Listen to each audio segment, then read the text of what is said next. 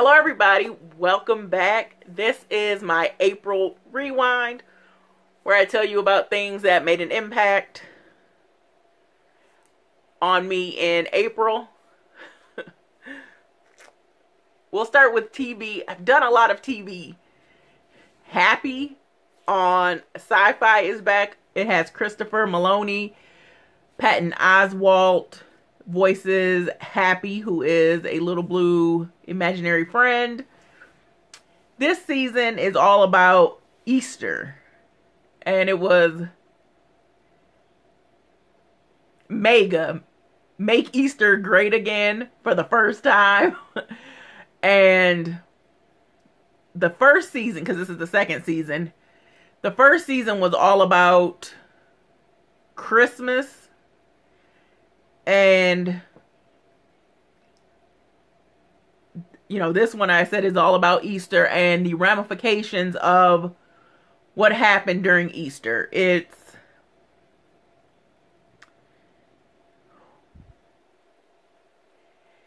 it's a weird mix of things. It's got a mystery we're trying to solve, so it's got detective work.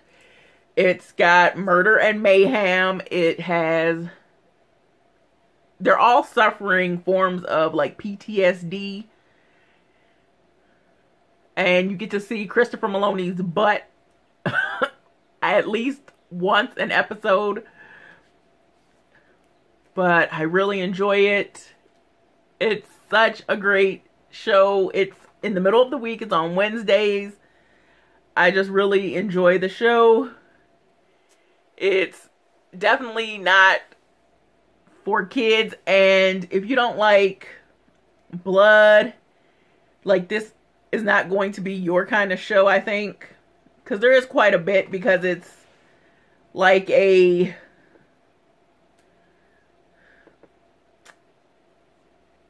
it's not a slasher film at all. It's it's violent majorly violent and there are like S&M moments.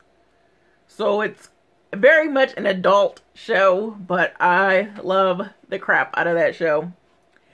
Um in April we had Watchathon week from Xfinity, if you had Xfinity, and you got to watch shows that you may not have the subscription to like HBO, Showtime, Cinemax.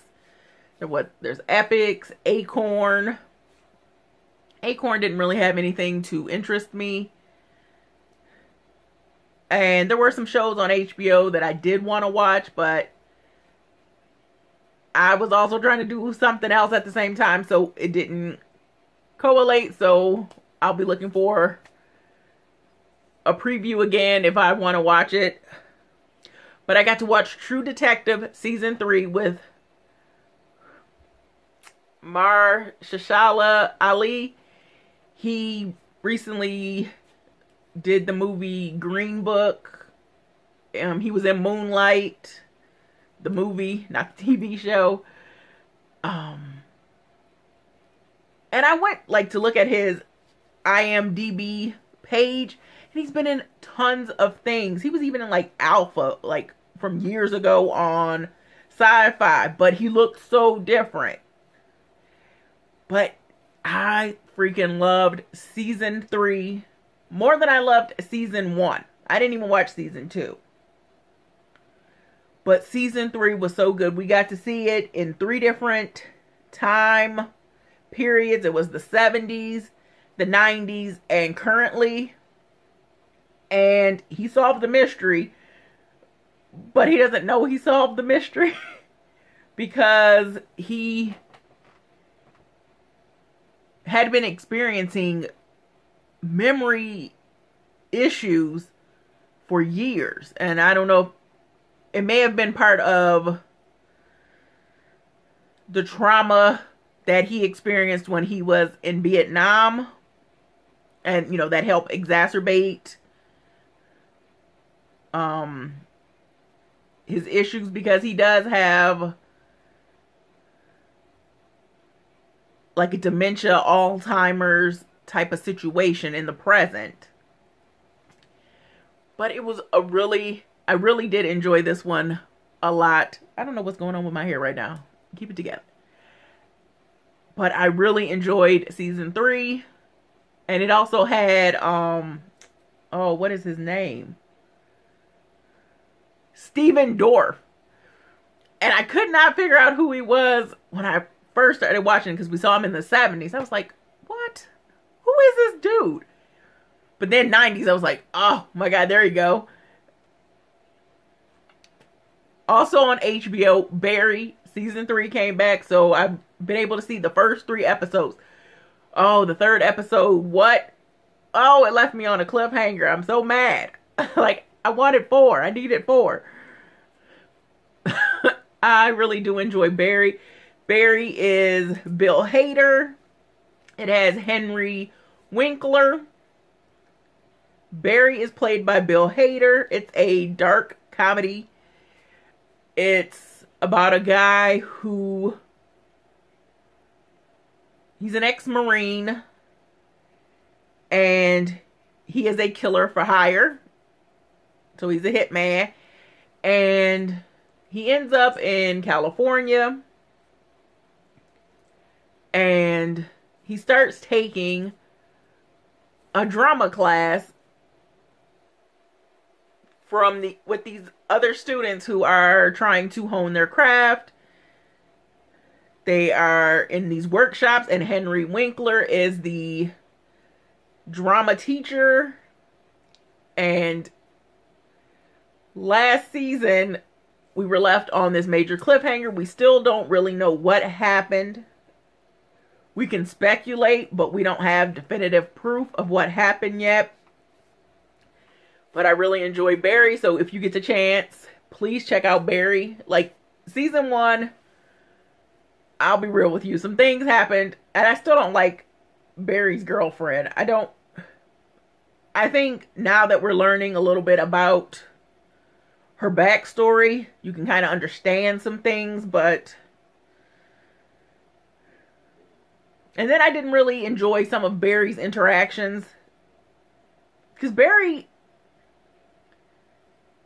he's on some kind of spectrum. He's not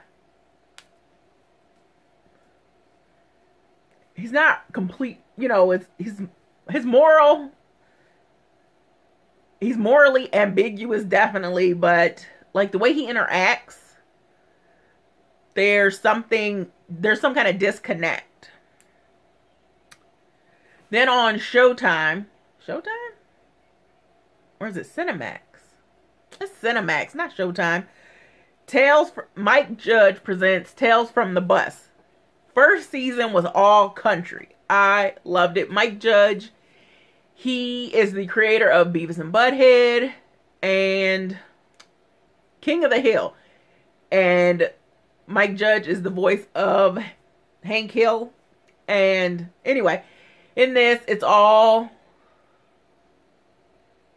like animated this season we got some actual pictures of the people because this season season two was all about black artists and it had um and it was a lot of it was members that have been part of like the parliament the funkadelics parliament george clinton we had Bootsy Collins, and it was because it all meshed. And this season, duh, it was all about funk. There we go. It was all about the different forms of funk. We had, like I said, Bootsy Collins. We had Parliament. We had James Brown. We had, oh, I can't remember her name but I'll put it on the screen. She was married to Miles Davis at one point and but she started to she was singing songs it was in the 70s you know it was women's liberation and she was singing these they were raunchy for the time you know and people didn't gravitate towards it. But like right now, I think it would be definitely, you know, something that would fit. Um, but yeah, it was just I really love music documentaries. I love how and this funk like it all connected. Like there was um oh my god, what's this dude's name?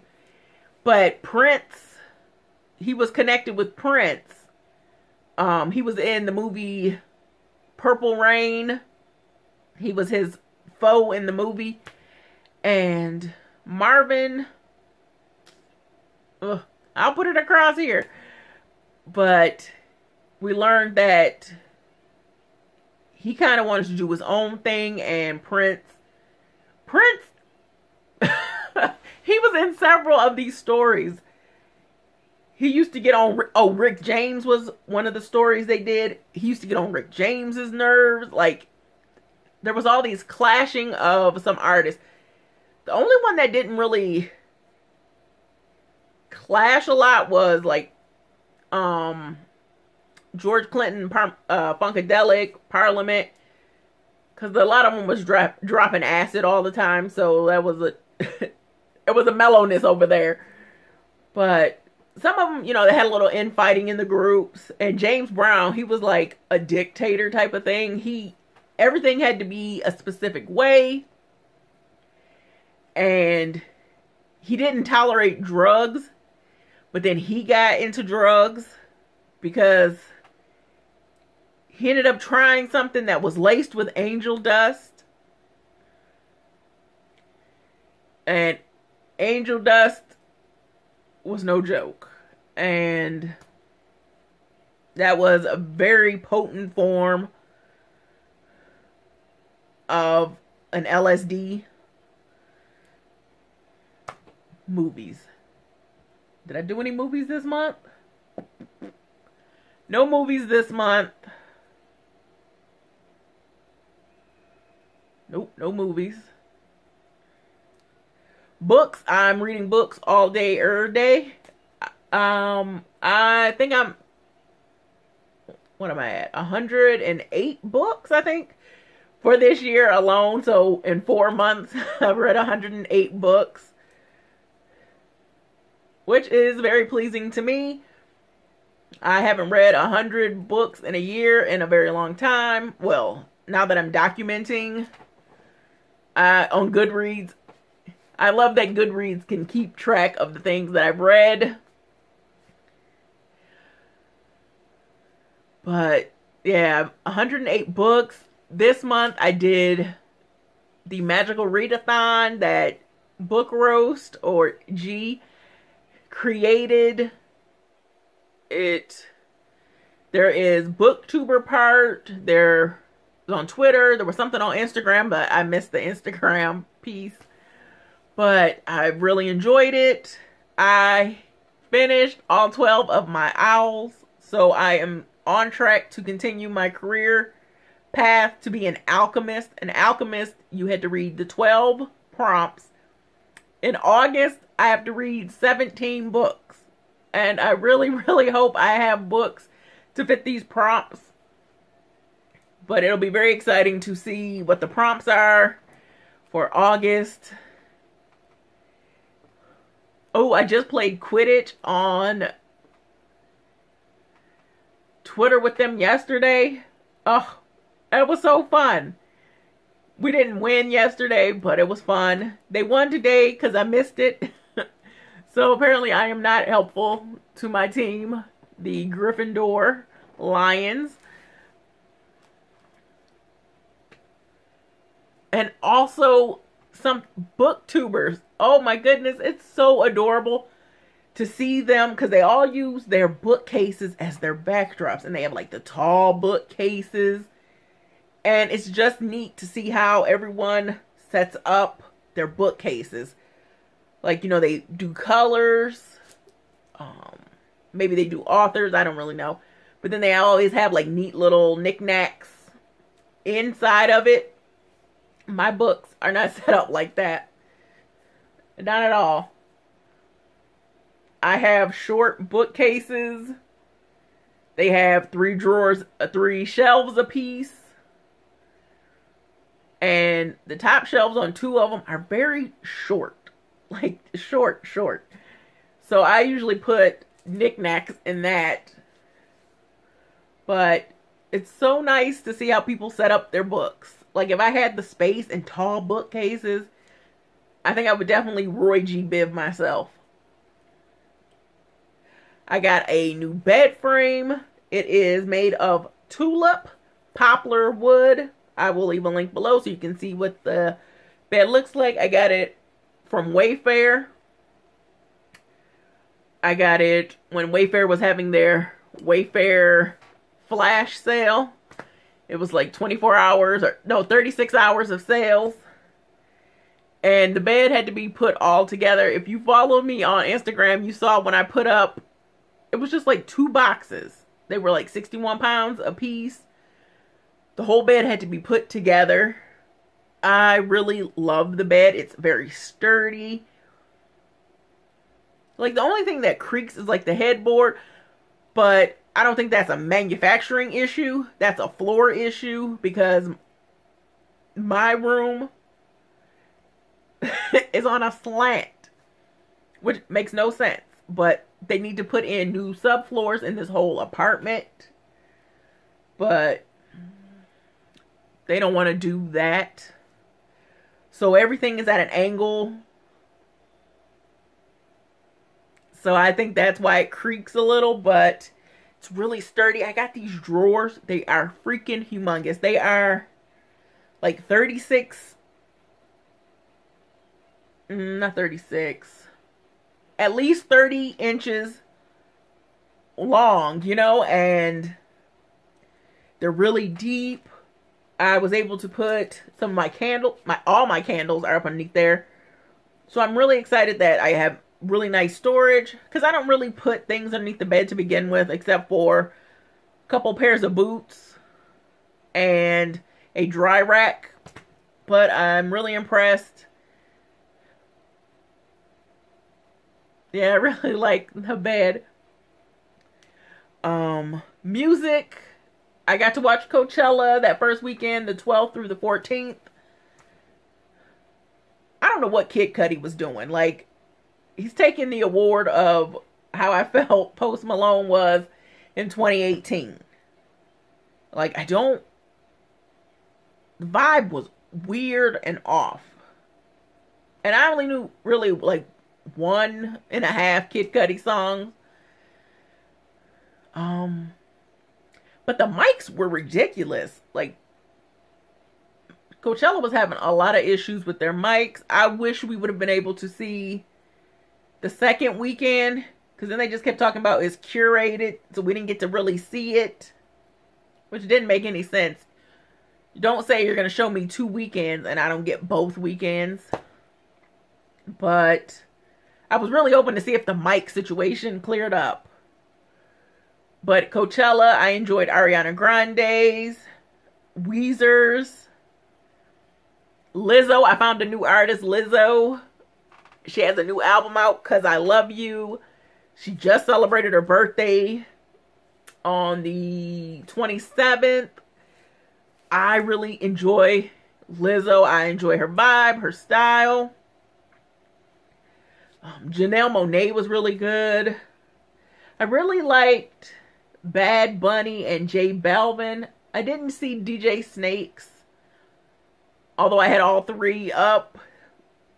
if I wasn't watching one of them, if I wasn't watch, if I was watching one, the other two were muted, and it was nice that I could go back to see stuff. But I closed DJ Snake down because I was like, I don't even know who he is. But he had Cardi B on there. Um, ooh, Jaden. I really like Jaden's. He has a lot of energy. Um, and he was performing a lot of new stuff. I'm trying to remember who else I liked. Ooh, Childish Gambino. I enjoyed him. I really enjoyed the movie he and Rihanna made. You can see it on Amazon. Prime now. Yeah. I enjoyed that. Ooh, Drake has a new album out. I will put the name of it. it's very different from any of the music he's put out in the past. And it's not a bad thing. I think it's more reflective of who he is right now from last year. You know, he's had time to sit, ruminate, um, put his thoughts down. A lot of the, he had a Lil Wayne on a lot of the songs. He even had a song with Peter John and Bjorn, like very different style, but you could just tell the different tone, like how he's feeling about himself, his personal thoughts, reflections on the drama from last year. Um Yeah, I think that's everything from April. My daddy had a birthday. He was 75. No, 77. 77. He turned 77. Yep, 77. My math was killing me. But yeah, he turned 77. next month, I am not looking forward to next month at all.